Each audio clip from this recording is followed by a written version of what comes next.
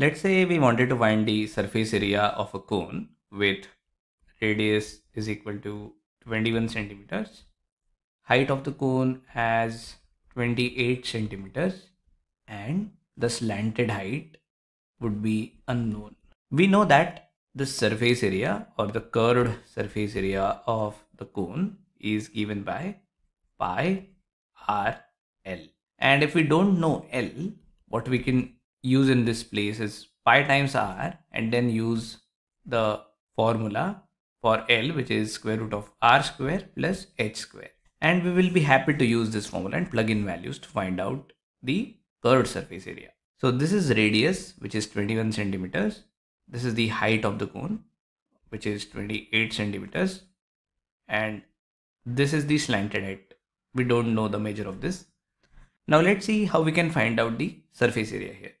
So CSA is equal to pi. So let's use the value 22 over 7 for pi times r which is the radius and it is given as 21 centimeters. Then we will write the square root of 21 square plus h square which is 28 centimeters square and this is going to give us the curved surface area for the cone. So if we want to solve this we can write 21 as 3 times 7 and then inside the square root we have 441 plus 784 441 is the square of 21 and 784 is the square of 28 because we have written 21 as 3 times 7 we can cancel these 7s out and we are left with 22 let's just put equal sign because all these are equal. So 22 times 3 times the square root of the sum that we get here.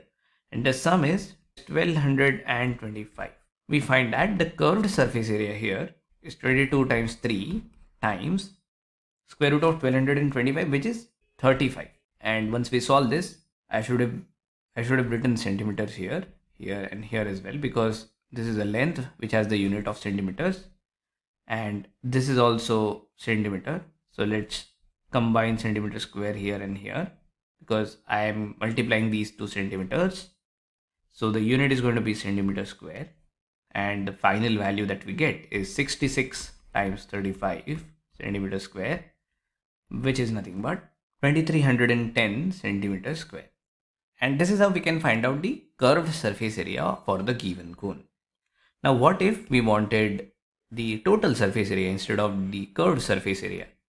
We know that the TSA or total surface area is basically curved surface area plus pi r squared. Why pi r squared is because we want to add the area of the disk, circular disk that sits at the bottom.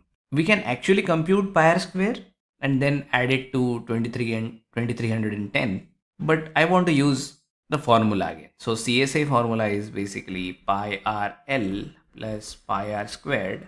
So the CSA formula is pi r L plus I want to add pi r square to get TSA and this is nothing but pi r times r plus L. I know that pi is 22 by 7 times r, r is 21 and what is r plus L? r is 21. I already know L is this value because I have computed the square root of 1225 which was basically square root of r square r square plus h square.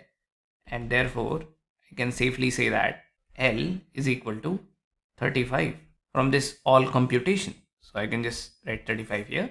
And then r plus L is basically 35 plus 21 which is 56 and now let's again simplify 21 by 7 which is going to be 3 so I can write TSA is equal to 22 times the simplification of 21 and 7 which is 3 and then 56 and this gives me the value as 3696 centimeters square. And this is the total surface area. I have already calculated the curved surface area for the cone, which is 2310 centimeters square. And after the after adding the surface area for the circular disc at the bottom, the total surface area of the cone becomes 3696 centimeter square.